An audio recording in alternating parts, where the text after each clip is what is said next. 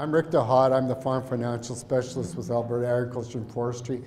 Uh, I've been with the department now for three and a half years, and prior to that, I worked for a major agricultural lender, uh, helping people solve their problems and meet their financial goals. So my passion is, is basically how, how can you make a living? And is there enough money to make a living? And, and is there a little bit left over that you can invest so that you can have a good retirement and do the things that you want? So have you considered leasing? Cows and pasture. Um, we know that in the last five years, the grain industry has been pretty profitable. The last two years, the beef industry has been pretty profitable, and we've seen land prices appreciate and cow prices appreciate. So the, the barrier to entry for most beginning farmers or young producers that are expanding their operation is capital. And it just seems when you're starting, there's not enough money to go around for everything you want to do. So one of the things that that uh, Brian said this morning is take a look at, at the model. See is there a different model that can help you uh, utilize all your resources so that you have the ability to, to make a little bit of profit and have a little better living. So what some of the things that we are considering is, is leasing cows and pasture. So we know that land prices in Alberta have really gone up. Um, right in this corridor where you guys are at, we're looking at probably in that five, four pasture, four to seven thousand dollars an acre. That's a lot of money. In the last five years, we've seen land prices in Alberta from Farm Credit Canada's survey go up around 58 percent, an average about 9% per year. And we've seen that land prices since 1992, there's been a positive correlation. And if, if you were a, an investor, land has been where it's at. We've seen its uh, annual income. So if land was worth $1,000 an acre, uh, basically in, in 1980, it dropped with the high interest rates in, the, in into 86, 89. 92 is probably about the best time to buy land, and ever since then it's been going up. So, you know, here, right here at, uh, in 1989 is probably $600 an acre, and now we're probably looking at $3,200 an acre. So you can consider in the, in the county of Mountain View here, um, land prices are pretty strong, and it is a barrier for young people getting into agriculture. Also, we've seen is, you know, cow prices are pretty flat for a lot of years. Uh, in 2013, you know, you were looking at $1,800, 1,000 to $1,800 with a good cow in that $1,400. And now, last week, uh, just looking at the au major auction, auction marts around Alberta, some good, good cows were uh, as high there uh, in, uh, in early fall as 3,500, but they've kind of come down to 3,000. And the average cow uh, right now is in, in that 24 to $2,500 range for a good cow. So when you take a look at that, that's, that's a lot of money for a young person to get in and make a living running cows. From the Farm Financial Survey, Financial Structure by Average Farm Type from Stats Canada, this is back in 2013. This is the average farm in Alberta in those years. This is a beef farm, so you can see that they surveyed about 8,300 farms. The total assets were 2.5 million. Liabilities um, around three, uh, 363 uh, with net worth 2.2. We know with the price of cows going up and the price of land going up that this is probably closer to $3 million right now. We also saw that farm sales are in at $420,000 and uh, expenses around 375 with net farm income around 52,000 and you know from 2011 look at the, the dramatic increase because of the price of cattle in the last couple of years this farm income has gone got a lot better so finally uh, the beef producers have been been rewarded for their patience and the probably the the 10, 10 years from 2013 3 to 213 that they were kind of beat up and they became low cost producers because they had to be if they wanted to stay in the business. So for young producers, we can see that if you want to go in the beef business, it's not for the faint of heart. A lot of capital is required. You take a look at, you know, not only if you buy the land and you buy the cows, is you need working capital because if you buy a cow and you or a heifer and you breed her, it's nine months before before she has a calf, another nine to 10 months before you sell that calf. So you're looking at 20 months that you have to feed and care for her, and where do you get that working capital to do that? So there's some, some ways that we talk about, about leasing that can free up some of that cash that you have for other things. So, but before you take, consider leasing pasture and cows is you really got to know your own cost of production and what those costs are. Because you have to know what you can afford to pay to lease a cow, and you have to know what you can afford to pay that, uh, for that pasture. What is your cost? So there's some, uh, Rand talked about the Agri Profits program with Dale Kaliel. You can go online to Alberta Agriculture, and there's benchmarks that you can benchmark against your own. Of course, your numbers are the best people often know their, their operating costs really well, but it's that, those fixed costs that they have a problem with because what is your, your, your, uh, your depreciation on equipment? What's your investment on equipment? And we know that you can run up your fixed costs pretty quick uh, if, if you buy a $150,000 feeding tractor and a $60,000 baler and, and hay mine. So those things can really affect your costs and uh, you have to be diligent. So, you, you know, when you take a look at bedding and feed, you know, take a look at the costs. Some of the, what are, what are the major costs and, and how do you manage them? So pasture lease. We know that in this area especially, uh, there's a large capital invested associated in purchasing farmland and that, that leasing pasture is a good alternative to owning. We know that the majority of the grain farmers in Canada only own about 60% of their land, and they rent 40%, and that's how they lever up to meet those conditions. We know that there's a lot of producers here as as they as your neighbors have aged and they've sold their cows, especially in the black soil zones, uh, they've ripped up some pastures or they've left some pastures because there's waste acres that they're not utilizing, and possibly you can you can can get in there at a reasonable price to cut your feed costs down. Uh, and also for young farmers seeking uh, to land, because really there's two things in a farm. You, there's the investment side where you invest into land and you look for a rate of return there, and that's one business. Farmers kind of blend. And then there's the operation of producing income, uh, producing crop, producing cattle, and producing cash flow to create a profit. There's two different businesses. We put them together, but when you take a look at it, there's, there's two different sides because you don't need to own any land to be a farmer. Advantages for uh, the tenant can establish a business without tying up any capital. You can start uh, there, you can free up that equity and capital for purchasing cattle or, or making a down payment on cattle and paying for those operating capitals or equipment while they're doing. it. And it allows the young producer to gain experience without making a big commitment. We know that if you decide to go into farming, it's a long-term career and a long-term investment. We just can't, you know, you can't get in and out. It's like you can't quit tomorrow. Uh, it's pretty hard to do that because you've got all these assets and all these stock and and it just doesn't happen that way. I can quit my job, I can walk out of here, I can quit right now, but when you're going to quit a farm, it's pretty tough because you got a whole bunch of other commitments. Disadvantages for, of course, when you're renting land is there's lack of security to provide to the bank if you're trying to borrow any capital. There's no hard assets there that you own, and there's lack of incentive to make uh, improvements. Uh, we know that when you're leasing pasture, especially now, we've seen in the last couple of years when there was no money in it, uh, a lot of these are the seniors in that maybe pastures available. The fences are 40 years old and falling down, and you go to lease that pasture and you say, who's going to spend? Are you going to pay for the $7,000 a mile and do the work to replace that fence? So if, if you're leasing it, if you got a long-term lease, then you might, and there's some agreement, you might be willing to invest that money into the lease or in the dugouts if you need water. But that's always, you know, you're not going to do, or you might receive the pasture to make it more, more uh, profitable. But unless you have that great tenure, you don't know how much money you want to invest. So, you know, year to year lease is pretty tough to make an investment if you get a five or a 10, uh, depending what. Also, if you lease the land, if land appreciates, you don't, you don't take part in that investment equity, that, that appreciation.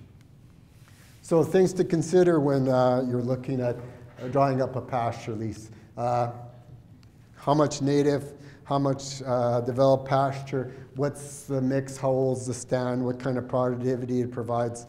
You know, le leasing pasture is harder than renting grain land because grain land you can go, well, geez, it produces so much an acre and the market value is, is $45 an acre or, you know, lease is 60 or $70 an acre, probably some places here $100 an acre. But for pasture, it's hard to determine because you've got to really know what the carrying capacity and what, what that land will provide. Also, who's going to provide the fencing and is it adequately fenced? And the biggest thing with cattle, you need water does that, that pasture have water or are you going to have to haul water to those cows or, or uh, make an agreement with, uh, with the fellow that maybe you can pump water from their well? So general terms and condition leases, uh, times, day, months, you know, with pasture lease, some of it is by the month, sometimes it's by the quarter. When are you going to review the lease? Any amendments to the lease? Binding on the heirs. If you're reading, leasing from somebody that's uh, a little senior, what if they pass away? Do you still have that property if it's in your business plan? Uh, what if they sell it? Uh, how do you lock, it, lock that lease in? Right of entry for the landlord to inspect, make improvements you know, if, if you, as a landlord, if you rent that land to another party, you have to have their permission to go in because you've, you've basically given their rights, your right to use that and operate that land. You just can't go in and leave the gate open uh, because you own them. You have to ask permission. I have a, I own a property and I have a lady renting it, and I have to ask her permission to go in and inspect it for insurance purposes. And I have to give her adequate notice pull clause. And um, Ted Nyberg uh, is here today, and he's kind of uh, been looking after pasture and, and a lot of things for Alberta Agriculture for a couple of years. And he reminded me that you have to have a, a pull clause because there's a, it's been important in the recent years, not only for the landlord, but the tenant, because if, if the, those cows aren't, and calves aren't putting any weight, you want to pull them and, and how is that going to affect your lease, your lease payment. Also, if you're the landlord and they're grazing it down to a, a, a golf course, and you're not going to have any grass next year to lease, then you might forego a year's uh, income. So it's important to negotiate a pull clause on the condition of the pasture and the condition of cattle. Stocking rates and capacity, uh, we can see that on this side, uh, they're going to start to pack a lunch from the blade of grass, and they're looking pretty favorably here. And so, basically, when do you move those cattle? And again, that goes with the, uh, how many cows do you put on it. Stocking rate, I think most of you uh, know this. Um, average animal unit is 1,000 pounds average weight per animal unit. This bull, uh, I've seen 1.5 to 1.25 a cow, and you have to know your stocking capacity, how many animal units. Ted reminded me that in Alberta, we kind of go on Alberta uh, unit, and that's a cow calf around 13, 1400 pounds. And that's how it's negotiated uh, in, in different areas. So there's a lot of other things in a pasture leases. Who inspects the fences? Who furnishes the labor for the repair? You, the landlord. Who uh, furnishes material? Who supervises water uh, for the, you know, sometimes you might pay a $5 more an animal unit to have a supervised lease where the landlord might be in the area and they make sure that everybody's in, they make sure the water's on, they put out the salt and mineral, or it might be an unsupervised lease. And those are the things that you have to put in when you negotiate it. You gotta, who's going to count them and who's going to look after the stray animals? Who's going to call the vet? Those things all come in. You know, if you're you're renting pasture 50 miles away, there's quite a bit of yardage for you to drive your diesel pickup there every day to check cows and give them water, because you're looking an hour both ways. And what's the fuel to do that? I know that there was uh, one of the gentlemen's up by Ashmont. Uh, he consolidated his operation because he finally sat down one day and looked at his diesel bill and figured out how many hours he was just going to check cows and make sure they had water. So he said, Yeah, the pasture was cheap, but I was driving all over hell wearing out my diesel pickup. So rental calculation, there's per acre uh, of pasture. Uh, that one sometimes, uh, you know, depending on a developed or tame pasture, number of head of livestock, animal units per month of grazing, There's an income sharing on predetermined shares, uh, percentage of gain. Sometimes we see this on uh, feeder cattle where you put so many cattle in, you weigh them in, and then you weigh them out, and then you share the, the increase in the amount of uh, gain with the landlord. And then there's a market approach where you calculate a share and contribution. Uh, there's uh, pasture lease agreements with Saskatchewan Agriculture, and uh, agriculture, Alberta Agriculture also has. Um, no, we haven't got a lease agreement, but this is probably the best one that I found. So uh, Ted and the good people at Ag Info Center, they, they, they collect custom rates and they collect uh, lease rates, and you can go on uh, if you go on Ropin' the Web and type in custom rates leases, you can find the information that they collect. In 2014, 48 farmers were surveyed, and uh, the good people at the Ag Info Center are always looking for information. So if you could share what you pay for pasture, they'd really appreciate it. But you can see that common in 2014 in the south was $30 an animal unit or a dollar a head a day, and central was 20 to $30 and north was $20, $30. So we can see in 2014, probably, you know, if you said $30 an animal unit uh, on, on good pasture, you're probably right. Uh, across the province, and this year with the drought, we saw some of those prices go up because they thought you, you guys could pay a little more because the cattle prices are stronger. Or we've seen so much a quarter section per the, per the leasing season. Always get it in writing. Uh, a lease is, is as good as the two people that negotiate and they understand it. And my, my experience is people want to hear what they want to hear. And if you put it in writing, if there's a dispute later or a disagreement, you've got it down when you're both willing to negotiate in a fair and equitable matter. It stops a lot of problems. Uh, it stops a lot of court costs. So get it in writing. There's a lease agreement on the Saskatchewan, covers a lot of those things. I would strongly suggest that you get it, and if you, if you're more than one year, if you're going two or uh, three-year lease, get it registered against the title, and that'll protect you should the heirs or anybody decide to sell it, that your lease is still good for that. Especially when you're planning on having that pasture for those three years so that you have feed for your cattle. Cow lease, a successful lease has to be equitable both to the owner and the operator, and not properly done. And properly done, it can be advantageous to both parties. Both have to accept some capital risk, and both have to have a mutual trust and confidence in each other. Cow lease is a, is a, um, is a tough thing to negotiate. Uh, they're great when they work, but you got to trust the person because the operator must convince the owner that they have the skills and the resources and integrity capable to manage those livestock. And the operator must be confident that the owner will deal fairly with them and not pull the cows halfway through the term. So advantage to the owner, uh, we see a lot of uh, our producers in the twilight of their careers.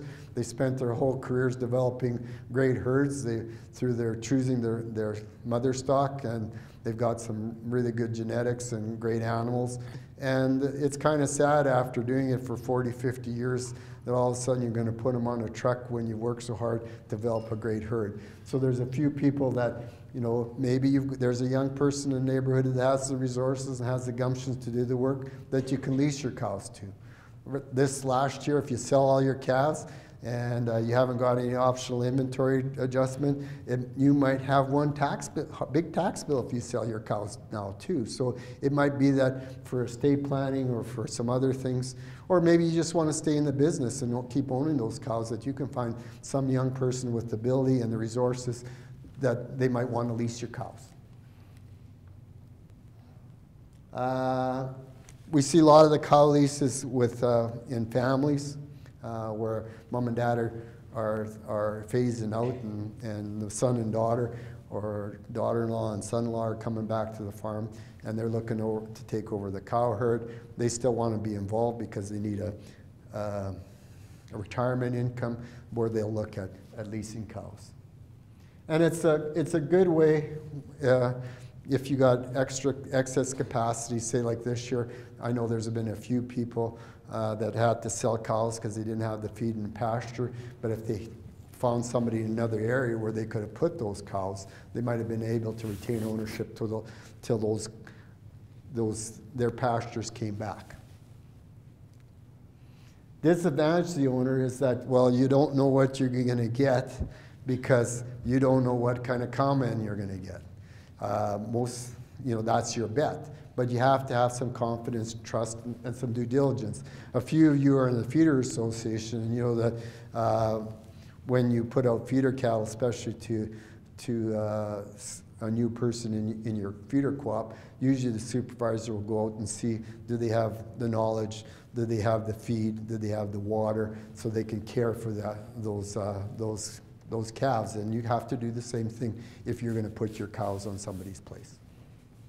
And it limits, but it does limit some options because, you know, say if cows are going up and you have an opportunity, you want to sell them, well, if you got them in a lease, uh, a one year or five year lease, you can't sell those cows because you've committed th those cows to that producer for that period.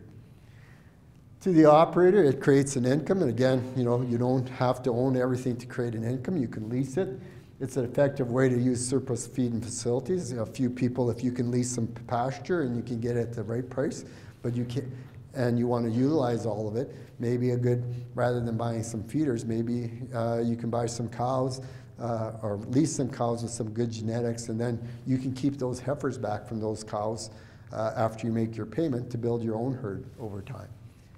And it's an opportunity for a young person without a long commitment to get to test do they want to actually run cows? Cows are hard work, and you got to be passionate about, about going and checking them every day. It always seems the cows are on the middle of the road when you're in your Sunday best going to a wedding, and uh, they're never on the road when you're in your dirty old pickup. Or, but you have to have it's a commitment. And again, access to good cattle and good genetics. There might be an ability for some some of you to, to pick up some access to some good cows that somebody spent a lifetime uh, breeding and, and getting into where they're pretty proud of their cow herd. Uh, disadvantages to the operator, of course, you, have no, you don't own anything, so you can't provide the bank any security uh, if you need some money for operating. And if the cow price goes up, you don't really participate in any increase in the equity, like say, uh, you know, 2012 13 when cows were 14 1500 dollars a piece and now they're 2400 you don't gain in that because you don't own them.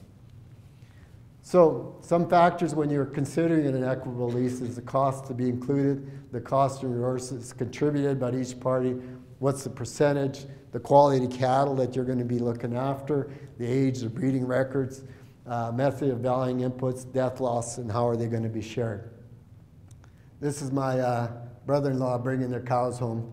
Uh, it's amazing when you always take out mineral and you know some candy, some rolled oats, how the cows follow you home. So uh, they don't have a dog; they got this old red pickup.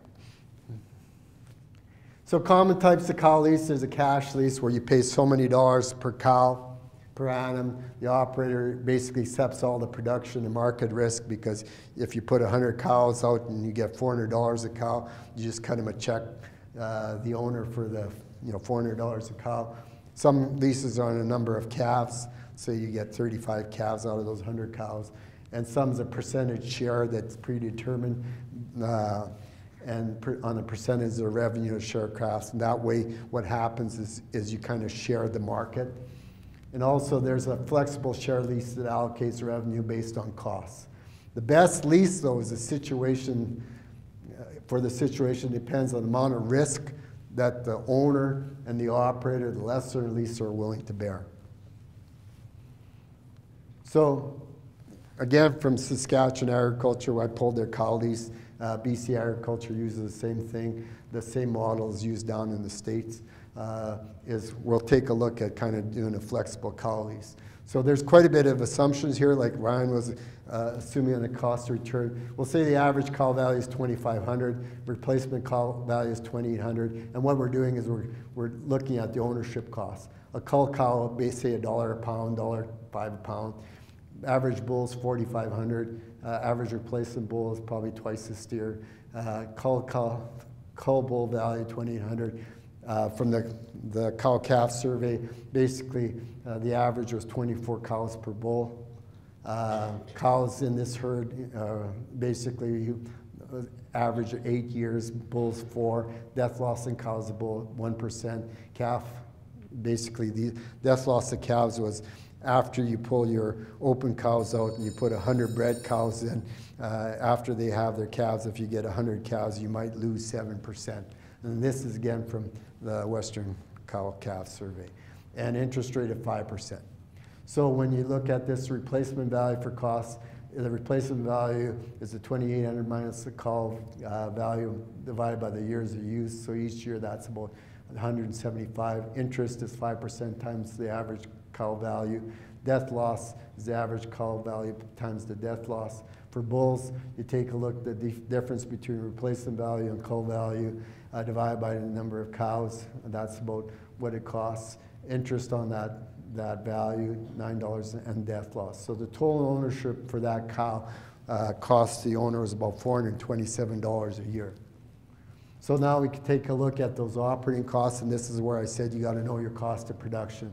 So depending on, you know, in this case, I think we're kind of looking at 210 uh, uh, winter feeding days and here about 160 days of, of, pasturing. Now depending on the mix, just like, uh, like um, Grant was saying, will determine your costs, but who pays these veterinarian costs? Here the operator's all expensive. Here we're looking at basically insurance because the owner takes the, the insurance on the cows. So if you add that up uh, on the on the contribution costs, we're looking at about $25 for the owner and $569 for the operator. Back on the fixed costs, we have the ownership costs for the cow. The operator has some depreciation on equipment, so those are the fixed costs. Now there's some opportunity costs, interest on the on the cow, and we put the bull costs in here. So the total cost to the owner of that cow was 452. The total cost to the operator was 689. For total cost about 100. $1,100. The owner had about 39% of the costs in that, in that cow and 60%. So what they did is basically they shared the calf sale costs uh, 40%, 60%. So if you said a, steer was about $1,500, uh, 500 pound steer, $3, 1500 450 a weight heifer at 275 two, is around 2300 at average costs, say on a returned calf. 1368. Death loss from the calves, $95. So the adjusted gross was around 1200. You split up the expenses off on a proportion basis. The profit per cow for the owner was about $50 and for the operator was 78. But you got to remember that we put in the full cost of the unpaid labor that the operator put in. We put in the interest on the animals. So that was after all those costs. So, and that's, you know, you got to know your costs. You got to know uh, what, you got to make some assumptions, and both parties have to be agreeable to it. So other things to consider in a cow lease, not only the payment, is description of cattle, brand, and arrival date. Uh, you know, uh, whose brand are they going to carry? Uh, what kind of cows? What kind of age? Uh, when were they bred? Uh, you know, I saw a fellow pick up 300 cows on a cow lease, and uh, first 200 came off in good condition. The last two pots came off. They were pretty sad. They were promised that they all bred the first in May, but they they calved into November. So he had a rainbow of calf sizes. So you know when you get that it's, it's not good because nobody makes any money and, and it's not fair. So also where are the cattle going to be kept and does the owner have the right to inspect and where? Breeding policy, who provides the bull and what kind of bull and what time do you put the, the bull in? Because that affects your weaning weights and that affects everybody's return. Herd health policy, what kind of herd health policy? Salt, mineral, uh, vaccination protocols. Veterinary expenses, who pays the vets? And then, uh, as we know, the average is about 11% cull. Uh, who, who decides which calls are culled in the fall and uh, what's the replacement policy. Most often, people will suggest that you don't keep you, you, the owner provides the replacements and he raises the replacements someplace else and puts them back in the herd to maintain that, that number. Other things to consider when drawing up a cow lease is where the feed, water, and pasture care, death, loss, and strays, who bears the replacement, uh, replacement of heifer agreement, uh, insurance of the breeding animal, who pays the insurance. Again, we worked out how you can go on the division and income, and terminating the lease and disputes because basically what if you're not happy with the cattle you get if you're the operator and what if you're the owner of the cattle and your cattle aren't being kept in the in, to maintain their cull value or their replacement their their value. And also disputes. Put into your lease what happens if you disagree. How do you arbitrate that? And how do you make it fair to everybody? Always get it in writing. Because again people hear what they want to hear and I'm old and I forget. And I, my wife says I, I, I can always justify what I think I heard. So it keep it keeps a lot of the keeps the business honest by getting into rating. Again, uh, where do you get information? Uh, through Alberta Agriculture, through our publications bank, you can get negotiating cow lease agreements, and it's got how to calculate different uh, payment arrangements and, and uh, share rates. Again, if you don't understand animal units, there's some information on our website, Ropin' the Web. Uh, if you want to see uh, some good cow-calf lease agreements and pasture lease, Saskatchewan Agriculture's put it. Uh, the beef industry is Western Canadian, and all the ministries do a good job of providing information. And Saskatchewan, and the Saskatchewan, British Columbia in 2014 kind of took the best of everybody and put a guide for agricultural leases covering cows and pasture uh, in a document that they're posting. Thank you.